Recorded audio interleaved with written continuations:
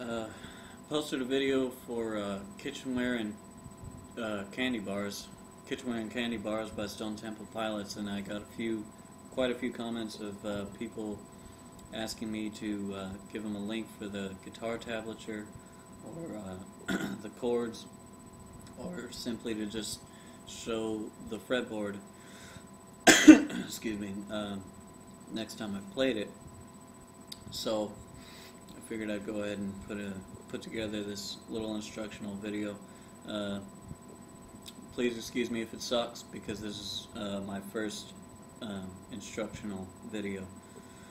Um, uh, it starts out with a verse, and uh, you're going to put uh, both fingers on the uh, fifth fret here, and that'll be um, the A string and D string. And uh, with the uh, E string, you're going to palm mute. And for those of you who do not know what a palm mute is, you're going to rest your palm right here, and just like that just kind of mute it a little bit.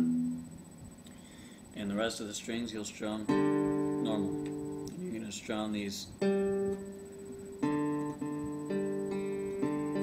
next three strings here. And it creates an interesting little sound there. And uh, after that chord, you're going to go and take this finger here and put it on the fourth fret on that D string.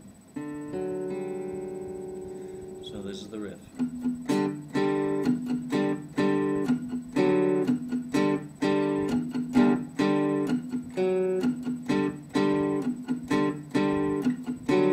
And it does that throughout the verse and uh, throughout uh, the bridge.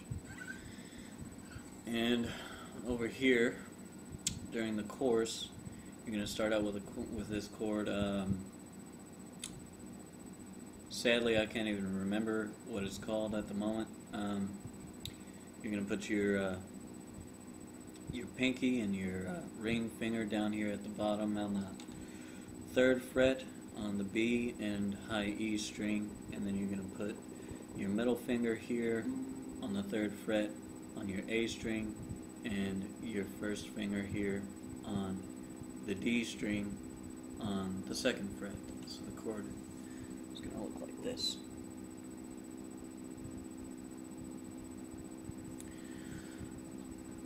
And when the chorus first starts out, it's a real slow strum and then it gets a little harder. Then you're going to move these fingers up here and down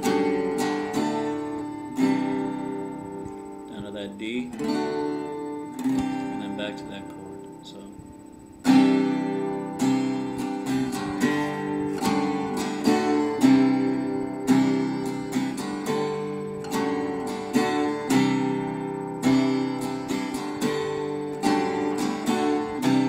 and the last time you go back into that verse, it just goes.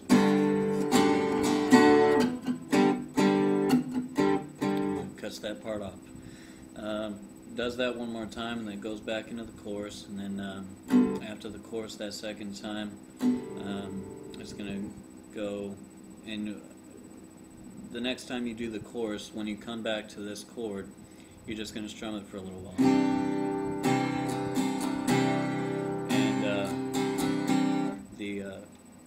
orchestra in the background is doing that whole thing. You know, I don't know what the chords for that are. Um, if you want them, go look them up.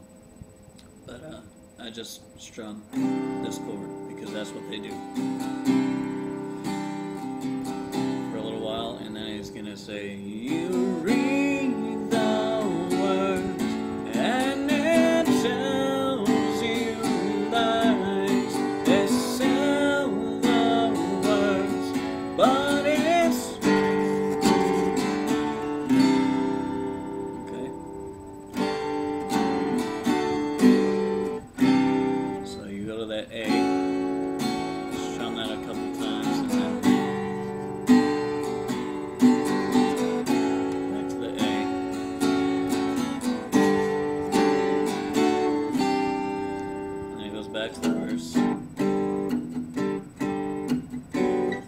back to the course again, and that next time after you do the course, then you want to. Uh, that's where the solo comes in, and uh, normally for the solo, you're going to want to have a second guitarist, uh, probably just improvise.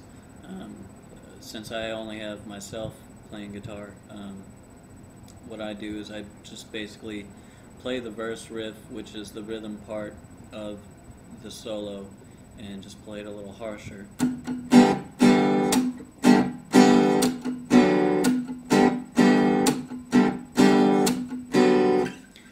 I tried kind of fiddling around with the uh, uh, the harmonics, but um, the artificial harmonics, but it doesn't work out too well unless you're unless you practice it for a while.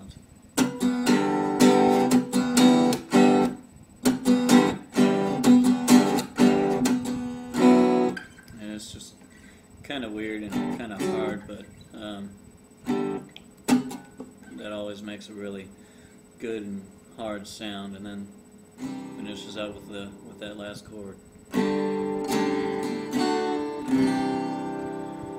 listen to the song for the uh, you know how it goes and and uh, where to play the chords. And there you go.